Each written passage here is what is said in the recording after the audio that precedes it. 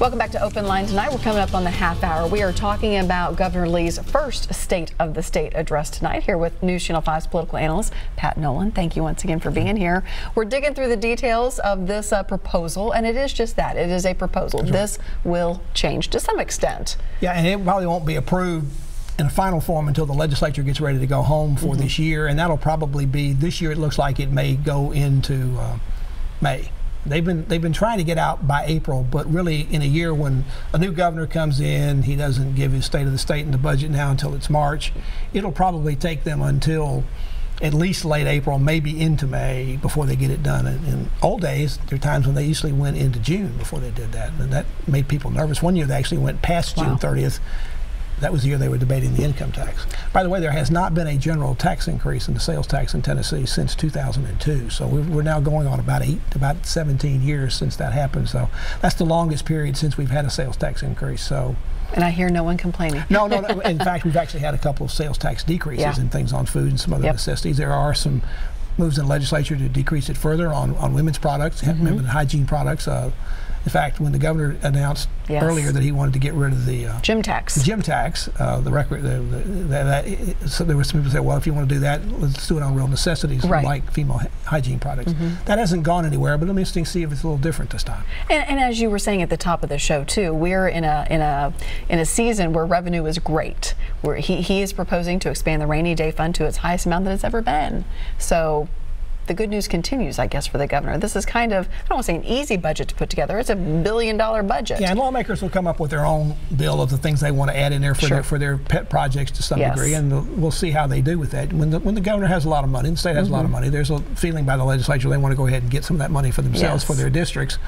And the administration also wants to do what they can uh -huh. to kind of keep it like this. And so that's always a push pull, and we'll see how that works. But we won't know how that works out till they're getting ready to move the budget. And we'll start figuring that out when the committee starts shutting down. And, and there's a the whole list came out from the speaker's office a couple of weeks ago that they're already starting to talk about this is our this is our schedule to get out of here. And they'll start mm. closing they'll start closing uh, committees sometime in April. I know you have your ear to the ground always up on the Hill. And what's been the general consensus about how setting up this administration has gone? I think on the on, on the whole, people are, are pretty happy with it. There, there was some there was some uh, unhappiness uh, from the Tennessee Star Group, the uh, the conservative. They have their outlet. Uh, it looks like a, a media outlet, a, a, newspaper. I'm not exactly sure. It's completely journalism, but mm -hmm. they were they do. I think they do reflect feelings in some parts of the Republican Party. They were very unhappy. Thought that Governor Lee was appointing a lot of RINOs, Republicans in name only, mm -hmm. and in mm-hmm. some cases even Democrats. They were saying, but most people are very happy with the appointments of his senior staff, and, and he kept he kept a good number of, of, of Governor Haslam's appointees. Now that that makes sense in this in this sense that this is the first time a Republican governor has been followed by another Republican, Republican governor. governor. Sure. Over the past 50 years, every time there's been a change in administrations, there, it's gone from Republican to Democrat. Now, we, even there, there was still left over, but we probably had more this time we had before. But that makes sense when you think about where the party affiliations right. are. So, but on the most, I think I think there's been pretty high marks about all of it. And of course, they've been sort of waiting for the governor to sort of give them his leadership position of this is what I want to do. Mm -hmm. They're already starting to move bills. They're moving bills about the uh, community act, the community uh, overview right. oversight committees. The, the one here yes. in Nashville, they're they're moving things on the heartbeat bill, some of the other mm -hmm. abortion legislation. So they're starting to move things through committees, and we'll start to see things passed and it'll be interesting to see when a controversial bill passes up there because this time the governor is setting up a like a website where people can come and, and give them their thoughts about this bill. And that that's not something that I remember Governor Haslam doing mm -hmm. in mm-hmm. terms of reviewing bills when they were on his desk. He has so many days after it passes to make up his right. mind. Let's see how that works. I've never seen that done before. Let's talk about a part of the budget that may be really um, more closely tied to the Republicans and how, and how he approaches it, and that is health care reform and some of his spending there. Yeah, he, um, during the campaign, uh, the Democrat Carl Lee would say, "Well, we, we really need Karl Dean. We really need mm -hmm. to expand the Medicaid program, right? The Obamacare."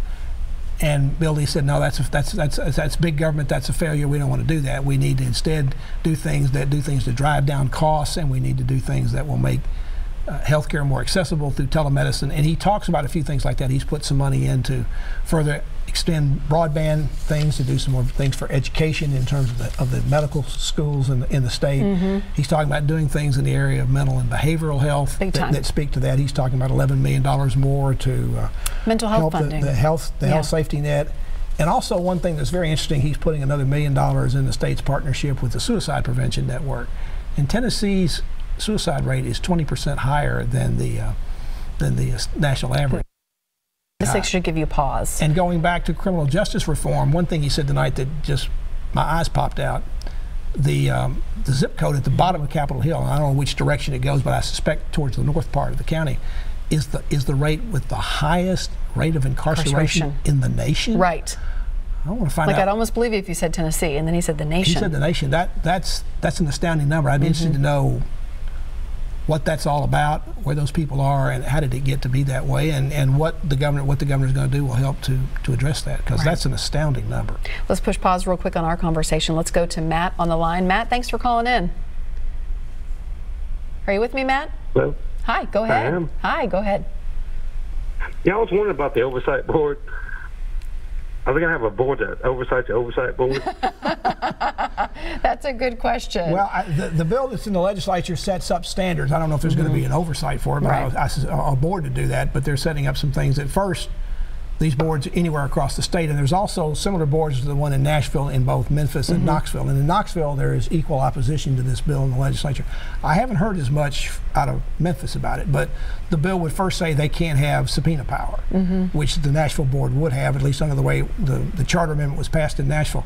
It also would not allow for some of the diversity in terms of you have to have so many members from disadvantaged areas, disadvantaged neighborhoods, yeah. or they have this and that and the other. So uh, that bill it looks like it's headed towards some pretty quick passage. It's passed out of a couple of committees in the House, seems to be headed towards the House floor. Mm -hmm. The governor says he's for it, and I suspect it'll pass in the Senate as well. So I'm having Governor Bri uh, Mayor, Mayor, Briley. Mayor Briley on, mm -hmm. on my show this week. So who has been up on the Hill. He has. He's been up there on it and had some pushback with yeah. Republican legislators who feel like Nashville's not being supportive enough of its police. Of course, he, he fought back against that, but uh, mayor's having trouble with the FOP yeah. here in town on, on, on, this issue and some others, right. pay and things like that. Right.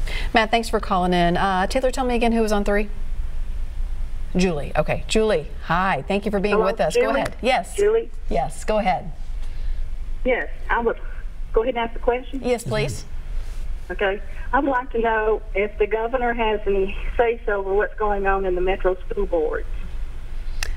That's a very good question. Obviously, NewsChannel 5 Investigates has done a lot of reporting on um, on the school board here in Metro Nashville. I would say it depends on the issue, so I'm not exactly sure which issue she's most concerned about. Uh, in, in, most cases, the school board has a lot of autonomy on that, although mm -hmm. the legislature has not been beyond passing bills that uh, nullify laws in Metro that could affect the school board here. But uh, and could create some oversight. Could create some additional oversight or some guidelines or, or rules the way they, they're doing it with the oversight board. So that, that's certainly possible although for the most part, that's a it local would be a situation. big move. Right. Well, it would be a big move, and, and, of course that group out there is, is having difficulties agreeing among themselves right, right now. I've even asked Mayor Briley about it when, when he's joined me here, saying, you know, can't you step in?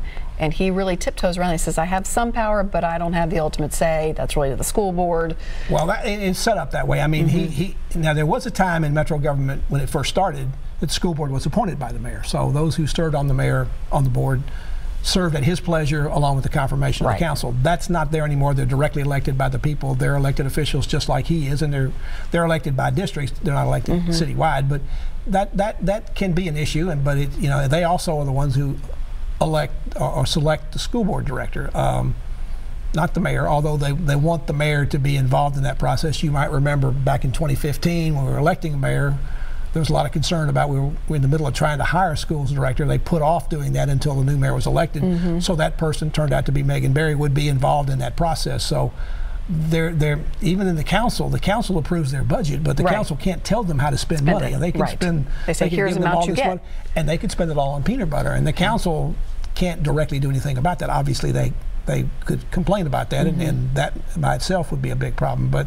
there's a lot of autonomy for local school boards. You know, and it is interesting, and this this is setting the state of the state speech aside right now, but it is interesting uh, considering all that, that Phil Williams has uncovered through our NewsChannel 5 investigations that we are not hearing more from the mayor and the Metro Council who allocate the money that goes to that. Have you, have you been looking at my questions for this week? That's, that's one of the questions I'm going to talk to him about. Because at some point, somebody has to step up. I mean, this is like the, the ultimate hot potato in our county, and nobody, it seems, wants to touch it. Well, I mean, the school board has before it a, a, a decision about whether to extend his contract. Right. that, that may be where the rubber has to meet the road. There are, there are people on the school board who obviously are not happy with the leadership they're getting from Very Dr. Joseph. So. But on the other hand, he has allies. Are there five of them? Are right. there six of them? Mm-hmm. Because if you don't have five, you don't have enough votes right. to not renew his contract. It'd probably be better if they had six. It would look a little bit more not quite as divided. A 5 4 right. vote would look about as bad as some of those Supreme Court decisions. Everybody's going, well, what, is, what does exactly. that really mean? But I, I still think that's that's going to be the, the big issue going forward. And,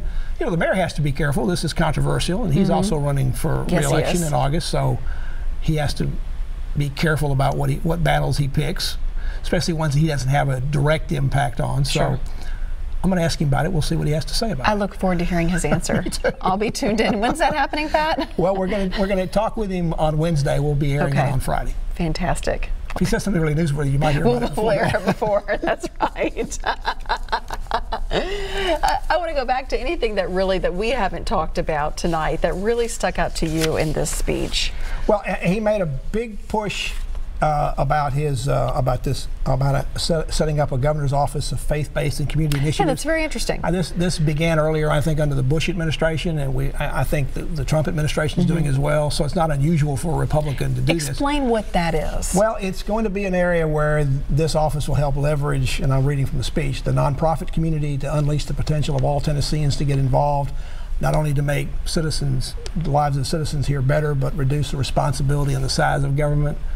Uh, some people don't always see it quite that way, but that, that's what he's trying to do. That, it's a little bit like the mentor program that he mm -hmm. came up mm-hmm. tonight with to help people help these prisoners coming out so right. they, they have somebody to, to lean on and guide as mentors as they go through that process. He said he wants to be the first person to volunteer. He said all his senior staff want to volunteer.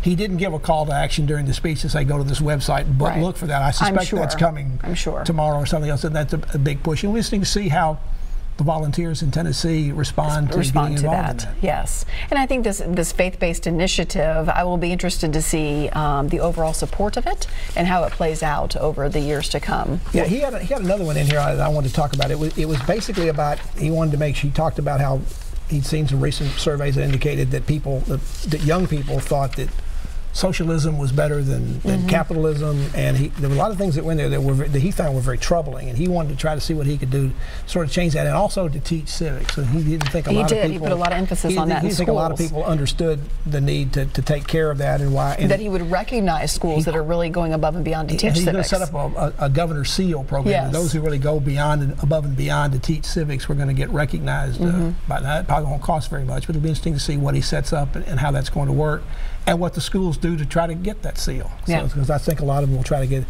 It. I just I thought that was interesting because uh, it, he he made a, he made a big push about that at one point. It was a couple of his applause lines too. And and I think also that he talked about that on the campaign trail, how important that he was. He did, and you've heard a lot of politicians talk about that. I mean, it, it, it I guess this is my age. I, I, do see a lot of young people that don't know the history of things, why mm -hmm. things are the way they are. They don't understand how things were founded the way they were, and that doesn't mean everything we did in the in founding both of this local government and right. the state government or the federal government was perfect. But if you don't understand how you got there, you may not know where you are and where you need to go from right. there. Right, right. Very interesting. Okay, we're going to take another quick break. When we come back, we will have one more long segment. We would love to hear more of your questions and comments. Uh, weigh in on what you thought of the of the governor's speech. This was his first State of the State address. Love to hear from you. 615 737 plus.